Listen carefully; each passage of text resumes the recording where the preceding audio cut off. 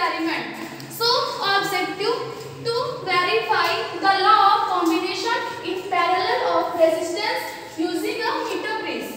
Requirements: a meter bridge, a battery eliminator, a galvanometer, a resistance box, a jockey, and two resistance wires and connecting wires.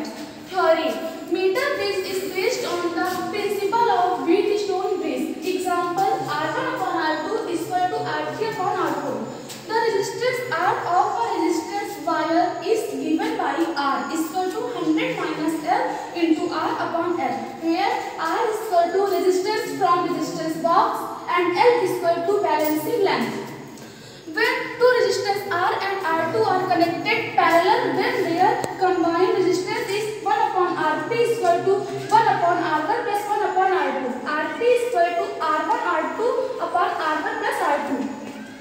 ये हमारी observation table है जिस पर हम लोग experiment करने के बाद यूनिट वैल्यूज़ यहाँ पर पुट करेंगे ये मीटर ब्रिज है और ये बैटरी एलोमीटर है रेजिस्टेंस बॉक्स है ये की है और ये गैलोमीटर है और ये जॉकी है।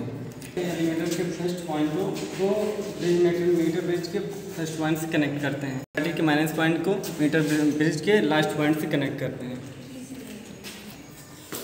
अब हम रजिस्टर्स बॉक्स को गिफ्ट से कनेक्ट करते हैं। मिडिल मिडिल स्क्रू को गैल्वेनोमीटर से जोड़ते हैं। सबसे पहले हम बैटरी एलिमिनेटर के माइनस पॉइंट को प्लस पॉइंट को। अब हम बैटरी एलिमिनेटर के प्लस पॉइंट को मीटर ब्रिज के स्टार्टिंग पॉइंट से कनेक्ट करते हैं। देन बैटरी एलिमिनेटर के माइनस पॉइंट को की से कनेक्ट करते हैं। अब की से कनेक्ट करते हुए बैटरी मीटर ब्रिज के इंडिंग पॉइंट को कनेक्ट करते हैं। देन हम रजिस्टेंस बॉक्स को देन गिप के मिडिल पॉइंट को गैल्वेनोमीटर के प्लस पॉइंट से कनेक्ट करते हैं। और गैल्वेनोमीटर के माइनस पॉइंट को जॉकी से कनेक्ट करते हैं। देन उसके बाद फिर हम एक अननोन रजिस्टेंस लेते हैं जिसको कि हम मीटर ब्रिज से कनेक्ट करते हैं। अब हम यहाँ से रजिस्टेंस को फाइंड कर सकते हैं।